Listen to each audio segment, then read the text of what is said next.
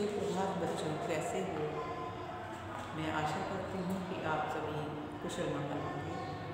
जैसा कि आप जानते हैं, हमारे फ़र्स्ट टर्म एग्ज़ाम हो चुके हैं और अब जो हमारे सेकंड टर्म एग्ज़ाम है, दिसंबर एग्ज़ाम है, वो हमारे दिसंबर के लास्ट वीक में या फिर जनवरी में स्टार्ट होने जा रहे हैं। तो हम सेकंड टर्म एग्ज़ाम की तैयारी अब स्टार्ट कर देते हैं। हमारे इसलिए आज पार्ट सात की हम दोहराई। लघु प्रश्नोत्तर से शुरुआत करते हैं स्टार्ट करते हैं। हमारा पहला प्रश्न है, पत्तों में से पानी वाष्प रूप में किस प्रक्रम द्वारा बाहर आता है? बच्चों, पत्तों में से पानी वाष्प रूप में किस प्रक्रम द्वारा बाहर आता है? तो बच्चों यहाँ पे मैंने आंसर नहीं लिखे लेकिन मैं तुम्हें आंसर बताऊँगी। यहाँ आंसर इसलिए नहीं लिखे जब कभी आप अपनी लर्न करने के बाद आप आ, लिखना चाहें तो खाली क्वेश्चन उठा के उसके आंसर राइट कर सकते हैं। तो इसका आंसर है वाष्प उत्सर्जन। क्या है बच्चों? वाष्प उत्सर्जन। क्या है बच्चों? वाष्प उत्सर्जन। जैसा कि हम जानते हैं कोई भी हम चीज़ गर्म करते हैं या आ, जैसे गीले कपड़े हम धूप में सुखाते हैं तो उनका पानी क्या हो जाता है? वाष्प बनकर उड़ जाता है। इस क्रिया को हम वाष्प उत्सर्जन कहते हैं। अब अगला प्रश्न है ऐसे पौधे जिनके तने हरे व मुलायम होते हैं वो क्या कहलाते हैं? ऐसे पौधे जिनके तने हरे व मुलायम होते हैं वे क्या कहलाते हैं? क्या कहलाते हैं बच्चों? शाक क्या कहलाते हैं? शाक फॉर एग्ज़ाम्पल जैसे जो मनी प्लांट या आई थिंक तुलसी। ये सब छोटे पौधे होते हैं, इनकी ऊंचाई ज़्यादा नहीं होती। मधुमक्खियाँ फूलों से क्या इकट्ठा करके शहद बनाती हैं? हमारा प्रश्न नंबर तीन है मधुमक्खियाँ फूलों से क्या इकट्ठा करके शहद बनाती हैं? तो फूलों से क्या लेती हैं मधुमक्खियाँ बच्चों? मकरंद। क्या लेते हैं? मकरंद क्या लेते हैं बच्चों? मकरंद इसलिए मैं उत्तर तीन बार आपको रिवाइज कर रही हूँ। प्रश्न नंबर चार, अधिकांश पौधे किस रंग के पाए जाते हैं? तो ये आप और हम सभी जानते हैं, हरे रंग के। किस रंग के पाए जाते हैं? हरे रंग के। वृक्ष वर्ग के पौधे होते हैं। वृक्ष किसको कहते हैं? जिसका तना मोटा होता है, कठोर होता है, उसी को वृक्ष कहते हैं ना? तो वृक्ष वृक्ष वर्ग के पौधे कैसे होते हैं? ऊँचे और इनका तना मोटा और कठोर होता है। तो जैसे आम का पेड़, पीपल का पेड़, बरगद का पेड़ मतलब हम इनको पेड़ भी कह सकते हैं और वृक्ष भी कह सकते हैं। अब प्रश्न नंबर छः है, ऐसे पौधे क्या कहलाते हैं जो किसी की सहायता से ऊपर चढ़ते हैं?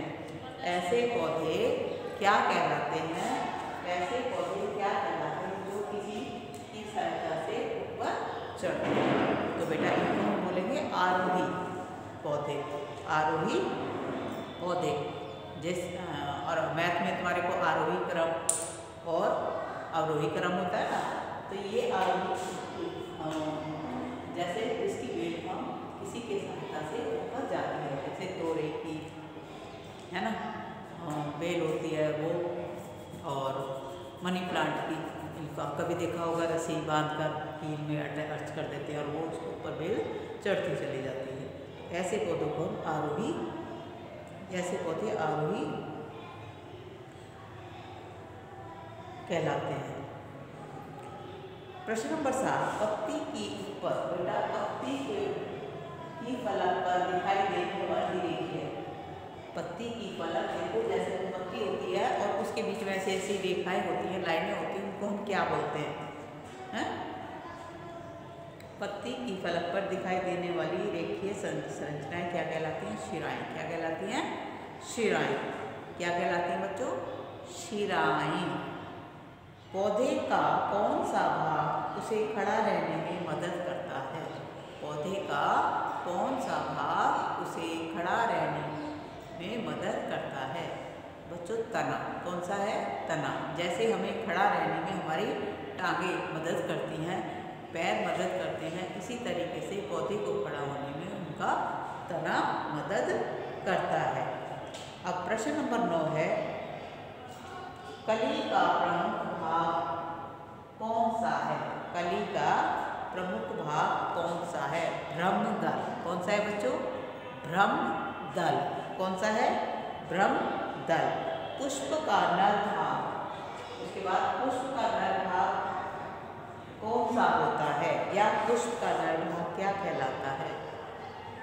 पुंकेसर और इसके साथ साथ एक और बता दूँ आपको कि पुष्प का मादा भाग क्या कहलाता है?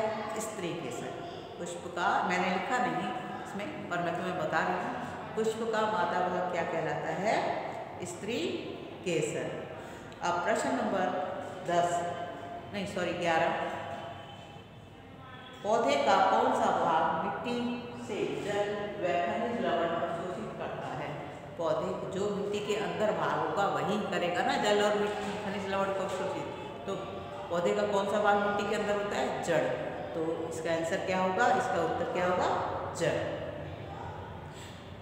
गुलाब का पौधा किस वर्ग में आता है? गुलाब का पौधा किस वर्ग में आता है? झाड़ी वर्ग में, क्योंकि उसके छोटे छोटे कांटे लगे होते हैं। प्रश्न नंबर तेरह पौधे को प्रकाश संश्लेषण प्रक्रिया में पौधे प्रकाश संश्लेषण प्रक्रिया में पौधे प्रकाश संश्लेषण प्रक्रिया में कौन सी गैस का उपयोग करते हैं पौधे प्रकाश संश्लेषण क्रिया में कौन सी गैस का प्रयोग करते हैं तो बच्चों पौधे अपना भोजन बनाने में प्रकाश संश्लेषण क्रिया में कौन सी गैस का प्रयोग करते हैं? कार्बन डाई ऑक्साइड कौन सी? कार्बन डाई ऑक्साइड अच्छा बच्चों, एक प्रश्न है। मैंने तुम्हारे को प्रश्न नंबर चौदह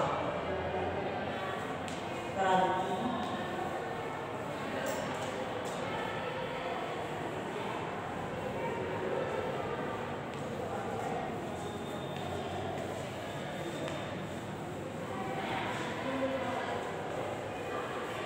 प्रश्न नंबर चौदह है जड़ कितने प्रकार की होती हैं जड़ें कितने प्रकार की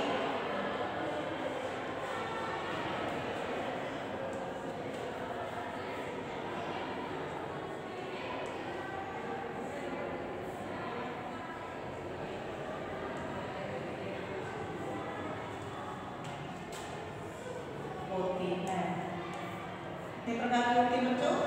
दो प्रकार कितने प्रकार की होती हैं? दो प्रकार की। नंबर एक नंबर एक मूसला जड़ और नंबर दो रेशेदार जड़। नंबर एक मूसला, मैं उसे मूसला जड़े और नंबर दो रेशेदार जड़े। और खेतों में उगने वाले अनचाहे पौधे प्रश्न नंबर पंद्रह खे- खेतों में उगने वाले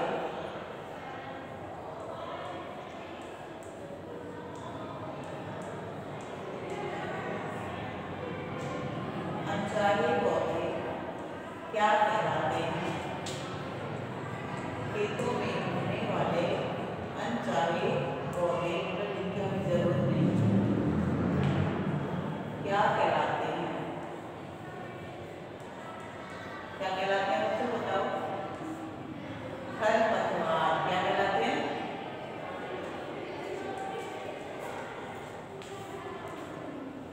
खरपतवार क्या कहलाते हैं खरपतवार खेतों में उगने वाले अनचाहे पौधे क्या कहलाते हैं खरपतवार तो बच्चों आज आपने पाठा के ये तैयार करने हैं और साथ साथ इसकी एक्सरसाइज अगर आपको टाइम मिल सके तो वो उसकी भी दोहराई कर लेना।